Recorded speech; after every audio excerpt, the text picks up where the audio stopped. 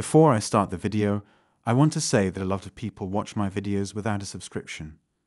If my content resonates with you, you could subscribe to the channel. Thus, YouTube would promote it more, which in turn would motivate me to release and improve content more often. Thank you.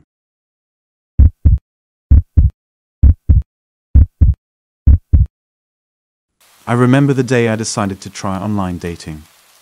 It was a beautiful sunny afternoon. I was feeling adventurous. I had heard so many stories about people finding love online and thought, why not me? I downloaded Tinder and started browsing through profiles. There were so many options, but one picture caught my eye. It was a guy named Mark, who looked very attractive and interesting. I swiped right, and we matched. We started chatting, and Mark seemed very polite and attentive to me. He was very intelligent and educated, and we discussed many different topics. I felt like we had a real connection. I was excited to meet him in person.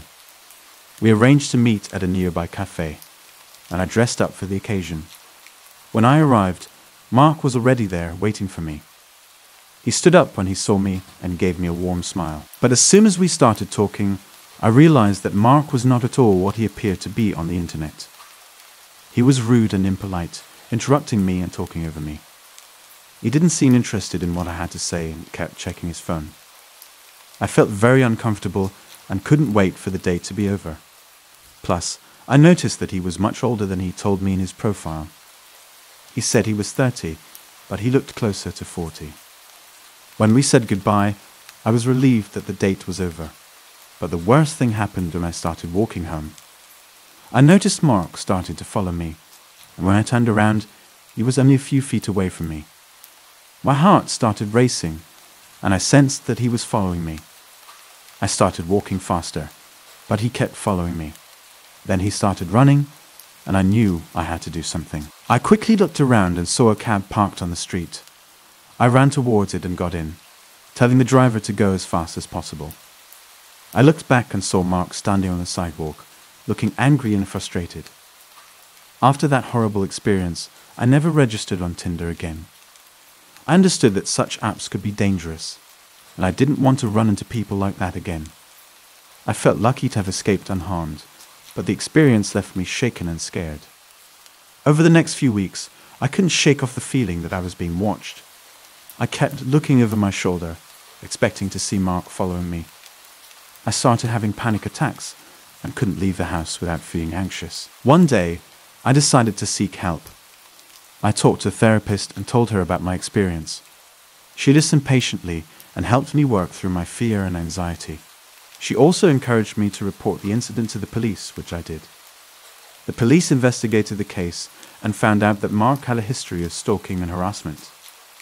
He was arrested and charged with several offences, and I felt relieved that he was off the streets. But even after Mark was behind bars, I couldn't shake off the feeling that I was being watched. I decided to take self defense classes and learned how to protect myself. Andrea had been single for almost a year and was starting to feel like she was never going to find the right person. She had been on a few dates from various dating apps, but none of them had really piqued her interest. That was until she stumbled upon the OkCupid app. After a few days of swiping through profiles, Andrea finally matched with a man named Mark. He was 28, worked as a chef, and had a few pictures of himself in his kitchen, which Andrea found impressive. They exchanged a few messages, and soon enough, they arranged to meet in person. The day of the date arrived, and Andrea felt a mix of excitement and nervousness. She decided to wear her favorite dress, the one that always made her feel confident. She arrived at the bar where they had agreed to meet, and Mark was already waiting for her. He was tall with dark hair and a friendly smile. They'd ordered drinks and began to chat. Andrea felt like they were hitting it off, and she was relieved that Mark seemed normal and kind. Then he suggested they play billiards, which Andrea thought was a fun idea. During the game, Mark revealed something that made Andrea feel uneasy. He told her that he had a rough childhood and that he had stabbed another student at school. The scary thing was that the man didn't regret it and said he deserved that ending. Andrea tried to brush it off, thinking that maybe he was just trying to be edgy or make a joke, but it didn't sit well with her. As they continued to play, Mark made a strange compliment to Andrea. He said that if he had killed her, he would have made a ham out of the bottom and hung the top in his room and admired it. Andrea's heart started racing, and she began to think of a way to escape as soon as possible. Suddenly, her phone rang, and she quickly answered it, pretending it was an emergency. A friend on the other end of the line played along, and Andrea told Mark she had to leave immediately to catch the last train. He clearly didn't want to say goodbye, but he walked her to the station after all. Once she was safely on the train, Andrea breathed a sigh of relief. She couldn't believe how creepy and disturbing the date had been. She vowed to never go on a date with someone she met online again. After the date, Mark still texted Andrea, trying to explain why she needed a bad guy. Andrea was firm in her response, telling him that she didn't like him and that she never wanted to hear from him again. For a long time, Andrea was hesitant to date men from dating sites. Now she prefers to get acquainted in real life. The girl says you should always listen to your intuition and leave if you feel uncomfortable. It is our right to say no. A few months passed, and Andrea had pretty much given up on the idea of finding someone through dating apps. She had been going out more with her friends, focusing on her career, and just enjoying her life as a single woman. That was until one day when she was out shopping for groceries. As she was browsing the produce section, she bumped into a man who was reaching for a carton of eggs. They both apologized and smiled at each other, and Andrea felt a strange connection with him. They struck up a conversation about their favorite recipes, and before she knew it, they had been chatting for almost an hour. His name was James, and he was a personal trainer. He was kind, funny, and had a great smile. Andrea felt like they had a real connection, and she couldn't believe she had met someone so perfect for her in the most unexpected way.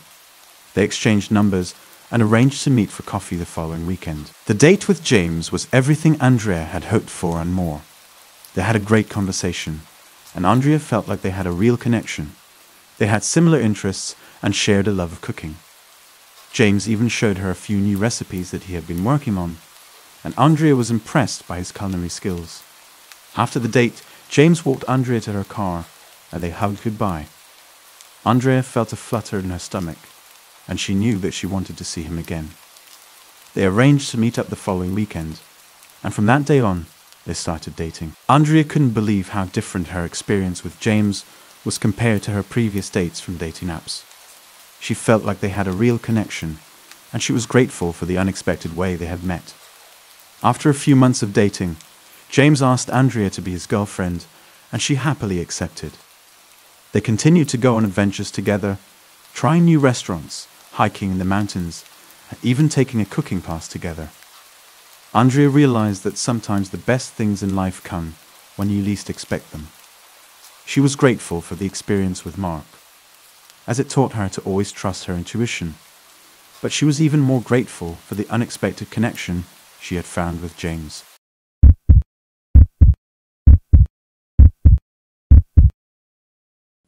As a young woman in my mid 20s, I had always thought that finding the perfect soulmate was going to be easy. I had grown up on romantic comedies and fairy tale stories that filled my head with visions of happy endings, and I believed that all it took was one magical moment to meet my Prince Charming. But as it turned out, the real world was a far cry from those stories.